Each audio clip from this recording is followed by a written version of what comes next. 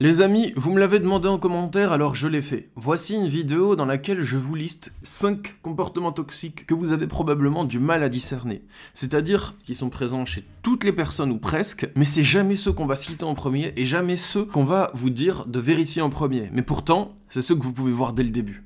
Mon but, c'est que vous puissiez ouvrir les yeux dans vos relations et vous dire ça, c'est un comportement toxique, et je comprends pourquoi, afin que vous puissiez essayer de faire changer les choses ou bien vous écarter des personnes qui sont vraiment toxiques. Moi je me nomme Stan Carré, j'exerce en tant que sophrologue et coach en développement personnel depuis 2015 et je suis auteur entre autres du livre Pervers narcissique, l'identifier, le fuir, se reconstruire. La meilleure manière d'écouter cette vidéo c'est soit de vous poser devant un mode ultra attentif ou bien de la laisser tourner au contraire pendant que vous faites des activités du quotidien, histoire d'optimiser votre précieux temps. Bon bah c'est parti les amis. Donc aujourd'hui je vais vous lister 5 comportements toxiques que vous pouvez retrouver dans chacune des relations toxiques. Le fait de le comprendre, ça vous permettra de comprendre pourquoi vous vous sentez mal dans les relations, et aussi d'avoir des drapeaux rouges à détecter chez les gens dès le début, parce que c'est des comportements que vous trouvez dans toutes les relations toxiques ou presque, et dès le début vous pouvez voir ça. Et si vous êtes alarmé et informé là-dessus, vous pouvez vous dire ah ouais lui, il a un comportement toxique et je comprends pourquoi et je comprends pourquoi la relation elle va pas et elle pourrait aller nulle part. Ça vous permet d'éviter de perdre beaucoup de temps. Sur ce, les amis, allons-y. Le premier comportement en question, c'est l'amalgame entre ses actes et les vôtres. Un amalgame, c'est un mélange, une, forme, une sorte de masse informe dans laquelle plusieurs choses se mélangent et on les confond. Selon une personne au comportement toxique, ses actions et les vôtres sont indissociables et elles font partie d'une sorte de gigantesque toile d'araignée dont vous ne pouvez vous dépêtrer. Donc une personne qui réfléchit comme ça se dira que c'est normal si elle vous traite mal parce que c'est légitime car vous avez fait quelque chose qui lui déplaît. Et elle va avoir pour tendance de justifier son mauvais comportement en disant que vous en êtes la cause. Mais c'est faux, c'est entièrement faux, c'est un mensonge. Tant qu'une personne réfléchit comme ça, la relation sera toxique obligatoirement. Je vous explique pourquoi. C'est pas parce que je l'ai décrété, hein, c'est juste ce que j'ai observé. C'est dans le sens où, si je dis, par exemple, que hum, vous, êtes ma copine, par exemple, et vous traînez avec euh, des filles euh, après le boulot, avec d'autres de vos copines, et des fois vous sortez boire un petit café ou une petite bière après le boulot, pour décompresser de la journée. Et moi je vous dis, selon moi, une femme n'a pas à faire ça quand elle est mariée. Elle doit rentrer directement après le travail. Elle doit pas voir ses copines comme si elle était célibataire, là. Ça se fait pas, ça. Donc, ça, ça, va pas du tout, hein, de, penser comme ça. C'est juste une vision des choses. Et, et, et ça, c'est même pas encore le pire, hein, d'accord? Le pire, c'est si vous ne m'écoutez pas, vous allez quand même traîner avec votre copine après le boulot, vous rentrez à la maison, et là je vous hurle dessus et je vous insulte. Et à ce moment, vous allez me dire, mais Stan, ça va pas, il faut pas faire ça. Et je vais dire, comment ça, il faut pas faire ça? Mais c'est normal que je fasse ça. Toi, tu traînes comme une célibataire avec tes copines après le boulot alors que t'es en couple. Donc c'est normal que je te traite mal en retour. Moi, je fais ce que je veux. C'est toi qui es en tort. Donc maintenant, t'assumes. Voilà. Ça, tout ce que je viens de dire là, c'est pour décrire un comportement toxique. C'est la personne qui refuse de remettre ses mauvais agissements, ses actions peu honorables en question, ou ses actions carrément malsaines et dangereuses, parce qu'elle pense qu'elle a le droit de le faire et même qu'elle doit le faire, en fonction de l'éducation qu'elle a reçue, de sa religion, de ses dogmes et de ses principes moraux. Peu importe.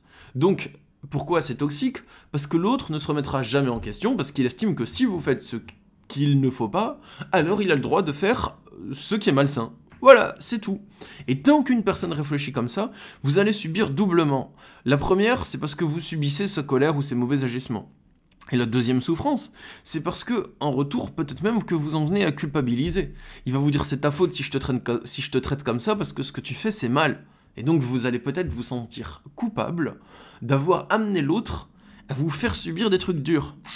C'est super toxique comme situation hein, pour vous. Mais en plus, il y a des gens comme ça, ils, essayent même pas de le cacher ce comportement. Ils vous le montrent dès le début. Donc si vous avez un date avec eux, vous arrivez avec quelques minutes de retard, et ben ils vont vous punir en étant de mauvaise humeur tout le rendez-vous. Et vous allez lui dire mais il y a un problème, pourquoi tu me parles comme ça? Et il va dire ouais mais c'est ta faute, c'est toi qui arrives en retard. Bah non, c'est pas votre faute. Votre faute c'est d'arriver en retard. Sa faute, c'est de vous traiter mal pendant tout le rendez-vous. Voilà, c'est tout. Donc, comment sortir de là? Quel est le bon état d'esprit à avoir pour pas tomber dans ce piège Déjà, de votre côté, il faut toujours, toujours, toujours, et ça je vous le dis très souvent dans mes vidéos les amis, il faut toujours dissocier vos actions des siennes. Vous êtes responsable de ce que vous faites, et l'autre il est responsable de comment il vous traite. Et Bien sûr qu'il euh, peut être touché par ce que vous faites, mais il n'est pas obligé d'être toxique avec vous. Il peut vous le dire gentiment. Il peut vous dire ouais, moi je me sens mal, je me sens pas respecté, et vous lui en parlez. Enfin, on peut avoir une communication constructive. Et s'il n'y arrive pas, ben, on va pas le blâmer. Mais vous avez aussi le droit de vouloir vous écarter des personnes euh, qui vous traitent de cette manière. Le deuxième comportement toxique qui selon moi est super important à discerner, mais un peu plus de temps à être discerné que les autres. Parce que celui-là, vous allez jamais le voir dès le début, parce que justement, vous allez comprendre pourquoi. C'est ce que j'appelle l'inversement de la position du supérieur. Donc c'est quand vous êtes en relation avec quelqu'un de nouveau, ça peut être un couple, une relation d'amitié toxique, une relation professionnelle, peu importe, et cette personne, au début, elle vous voit comme quelqu'un de supérieur à elle sur certains plans. Mais petit à petit, dans la relation, le rapport s'inverse et ensuite elle vous rabaisse sur ce même plan et vous traite comme si elle était supérieure à vous sur ce plan. Je vais vous donner un exemple. Ça peut être quelqu'un qui vous considère comme spirituellement plus éveillé que lui. Il va vous dire Waouh, mais t'es tellement intelligent, t'es tellement éveillé, t'es tellement spirituel, c'est génial, waouh, euh, comment tu fais Je suis choqué, oh my god. À ce moment, vous allez lui dire euh, Être tranquille, enfin, ok, merci, c'est gentil, mais ça, va, pas la peine d'en faire des tonnes. Hein. Et petit à petit, au fur et à mesure que les semaines passent, eh ben, ça s'inverse en fait.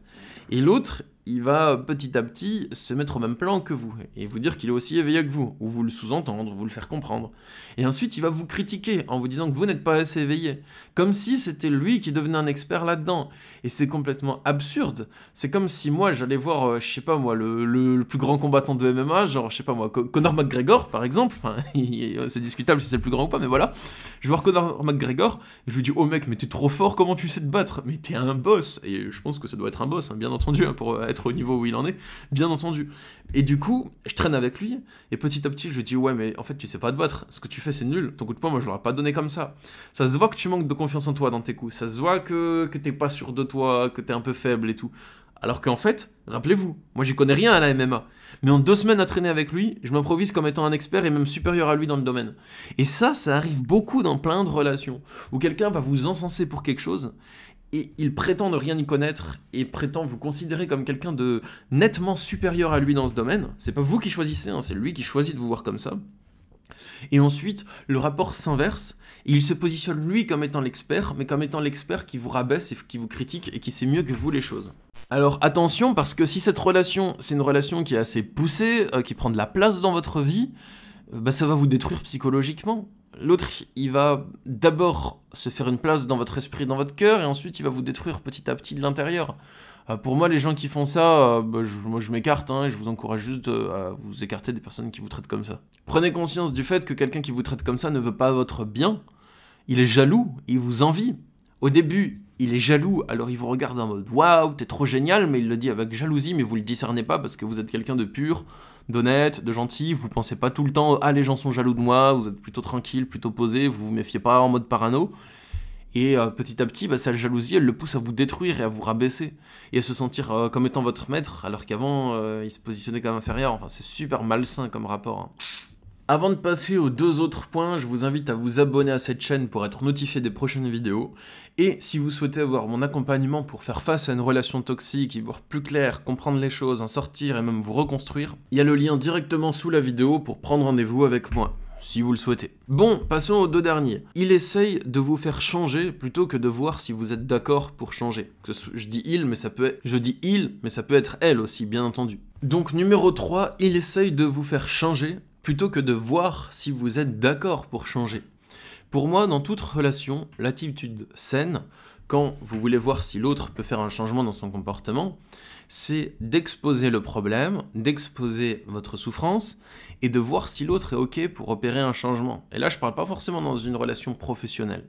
Parce que professionnel, ça peut être différent, il y a tous les profils, on choisit pas vraiment qui on va côtoyer, des fois faut taper du poing, des fois euh, faut essayer de bouger la direction, enfin c'est autre chose. Mais là je parle vraiment dans les relations euh, privé, amical, familial, pro. Donc, une fois qu'on a exposé le problème à l'autre, on va lui demander s'il est d'accord pour opérer un changement. Un changement qui soit bien pour lui aussi. Voilà, le but c'est pas que l'autre y souffre aussi. Et si il est d'accord, et si oui, quel changement serait possible? Le but c'est de penser à notre bien-être à nous, plus à celui de l'autre, et essayer de trouver un terrain commun, de négocier quelque chose, de voir s'il y a un compromis qui est faisable. Et un compromis, c'est pas forcément un sacrifice. C'est une autre manière de trouver son bien. tout simplement. L'attitude malsaine, c'est d'essayer de faire changer l'autre, de le convaincre. Pour ça, on va user du chantage émotionnel. On va mettre en avant notre souffrance comme argument pour que l'autre change et lui rabâcher et essayer de l'avoir à l'usure même s'il dit qu'il ne veut pas changer. On va lui dire qu'il faudrait qu'il change. On va mandater des proches pour essayer de lui faire entendre raison et l'amener à changer. Et c'est toute une sorte de matrice qui est mise en place pour éduquer l'autre, pour le dominer, pour l'amener à contenir ses envies. On va pas essayer de le comprendre et de se dire mais pourquoi il veut pas changer en fait? Qu'est-ce que ça génère comme souffrance en lui ou comme désagrément le fait de changer? On va se dire juste il veut pas changer et il doit changer. Donc on essaye de le briser, de le mater, de le dresser à ce moment-là, ou euh, simplement euh, de, mettre la pression jusqu'à ce qu'il finisse par céder. Et l'autre, il va peut-être souffrir de ce changement, mais ça, on s'en préoccupe pas. Et ça, c'est une attitude malsaine. Si vous avez un partenaire de couple comme ça, ben, ou quelqu'un euh, dans la relation amicale comme ça, c'est pas sain du tout. Moi, ça m'est déjà arrivé que je suis en couple avec une personne qui voulait que j'habite euh, avec elle dans un patelin dans lequel je me plaisais pas du tout. Et je lui ai dit plein de fois que j'aimais pas ce lieu, que je me sentais mal, que je m'y sentais pas bien, j'aimais pas du tout en fait. Mais elle m'a mis la pression euh, pour que je vienne habiter avec elle dans ce patelin. Moi je l'ai fait. Ensuite, elle m'a mis la pression pour que je passe mon permis, alors que j'ai pas envie de passer mon permis. Et elle a dit oui, mais maintenant, quand on habite dans un patelin, et eh bah ben, dans le patelin, il faut passer le permis. Alors que non, je voulais pas en fait. Après, ça va aller jusqu'où? Et maintenant, comme on a le permis, il faut acheter une voiture. Et, euh, après, ça, s'arrête plus en fait, ce genre de truc. C'est les personnes, elles veulent tout diriger. Et ensuite, comme je ne souhaitais pas passer son, son fucking permis, bah, elle a mandaté des proches à elle de me mettre la pression pour me convaincre que je devais le passer ce permis. Des gens, je les connaissais même pas, ces gens, ces colocataires, ces voisins. Ils disaient Oui, mais tu sais, il faut que tu le passes ton permis. c'est bon, qui vous êtes les gars là Retournez chez vous, allez, pss, pss, pss. Bon, bref. Euh, et encore, ça c'est un exemple un peu gentil que je vous donne, mais des fois, euh, c'est des gens qui vont vous hurler dessus jusqu'à ce que vous acceptiez de subir à leur volonté, de céder à leur volonté. Des gens qui vont vous faire vivre un véritable enfer, des traumatismes, de la violence physique, de la violence psychologique. Ouais, ça va pas du tout. Hein. Les gens qui veulent faire changer, moi, basta, hein, écartez-vous de moi, tout simplement. Et je pense que c'est beaucoup plus sain. Dans une relation, moi, si j'ai un problème avec quelqu'un, je vais jamais essayer de le faire changer. Je vais lui exposer ce problème, lui demander s'il est d'accord pour faire un changement et si oui lequel, si ça lui fait du bien, si c'est sûr que c'est ok pour lui. Et si l'autre ne le veut pas, bah, je respecte son choix. Après peut-être que j'ai pas forcément envie de côtoyer l'autre euh, s'il continue à faire ce qui me gêne. Mais je vais pas faire une violence, une pression sur lui pour euh, qu'il change. Et je vais même pas faire du chantage en disant écoute, je te côtoie plus si tu changes pas. Non, c'est même pas dans ce sens-là. C'est juste, bah écoute, tu veux pas changer, je respecte. après, moi, je souhaite pas être exposé à ce que tu fais parce que ça me fait pas du bien, donc euh, je prends un peu mes distances. Voilà, tout simplement. Quatrièmement, c'est quand quelqu'un insiste lourdement pour euh, sortir avec vous. Et pourquoi c'est malsain? C'est parce que l'autre veut vous avoir à l'usure.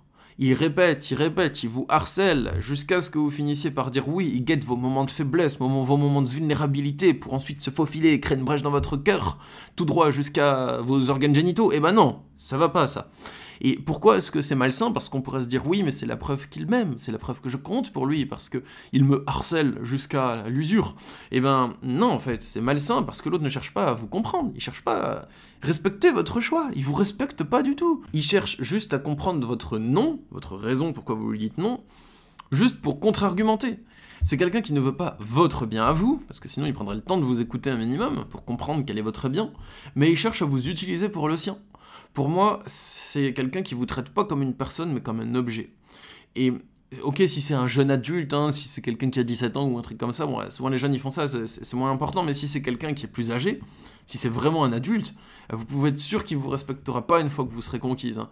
parce qu'il vous respecte même pas dès le début, donc comment vous voulez que ce soit bien après, une fois qu'il a déjà ce qu'il veut, et que vous êtes déjà conquise? Ça, ça va pas du tout. Et cinquièmement, c'est quand les actes ne suivent pas les paroles, à répétition et sur différents sujets. Donc c'est quand quelqu'un qui va vous promettre des changements ne tient pas ses promesses ou quand quelqu'un qui vous dit qu'il vous comprend, mais il continue à vous faire du mal. C'est aussi quand quelqu'un vous promet des trucs, il ne tient pas ses promesses, et on oublie, ça peut arriver, alors vous lui rappelez, mais il va s'énerver. Par exemple, quelqu'un qui va vous emprunter de l'argent, il vous emprunte 2000 euros, et il vous dit, je te les rends dans 15 jours. Promis. Dans 15 jours, vous attendez, il vous les rend toujours pas, vous laissez passer encore une semaine, et ensuite vous lui dites, bon ça fait 3 semaines là, tu peux me rendre mes 2000 euros s'il te plaît? Il va dire comment ça, tu me donnes de l'argent alors que tu sais dans quelle galère moi je suis? Et toi, je sais que tu vis dans un niveau de vie confortable et tu oses me demander l'argent? Ça c'est toxique à fond. Bannir la personne. Euh, ou des, euh, payer des gros bras pour lui péter les guibolles et récupérer les 2000 euros et bannir la personne. Non, si vous faites ça, vous allez en tôle en vrai. Mais ce que je veux dire, c'est ça va pas du tout ça. C'est toxique de ouf comme comportement. Il s'est engagé à vous les rendre. Donc il faut les rendre. Un point c'est tout. Il n'y a pas d'histoire de moi je suis en galère et toi tu vis de manière confortable. Non, ça, ça va pas tout ça. Donc pour moi, quelqu'un qui ne tient pas ses paroles, ou qui a des actes qui ne suivent pas ses paroles, ça va pas. Et pourquoi c'est toxique? C'est parce que vous ne saurez jamais sur quel pied danser. Il vous dit un truc, il fait autre chose, vous avez plus confiance en cette personne. Et c'est tout à fait normal que vous n'ayez plus confiance en quelqu'un qui vous sort des attitudes et discours contraires tout le temps. Euh, bon, les amis, c'était tout pour ces 5 comportements. Si vous repérez ces 5 chez une personne, fuyez le plus loin possible de cette personne. Si vous en repérez un, peut-être, il y a peut-être moyen de faire un changement, à voir si l'autre est ok. Voilà, si cette vidéo vous a plu, n'hésitez pas à la liker, me dire dans les commentaires si ça vous a plu, et aussi, s'il vous plaît, suggérez-moi des idées de vidéos que vous aimeriez bien voir ou de sujets que vous aimeriez bien que j'aborde sur cette chaîne. Vous pouvez me le dire dans les commentaires, euh, moi je les lirai, et je verrai si ça me parle ou pas pour faire des vidéos dessus. Je vous dis à bientôt pour une prochaine vidéo, prenez soin de vous, et il y a le lien dans la description pour prendre rendez-vous avec moi si vous le souhaitez. Au revoir les amis